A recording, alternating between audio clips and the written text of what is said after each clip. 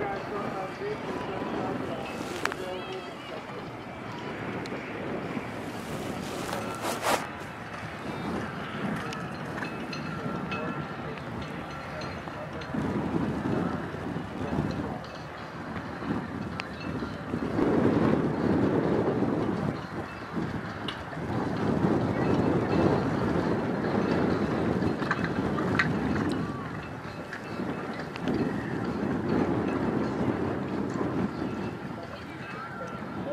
Four volts in the speed, 30.152 seconds.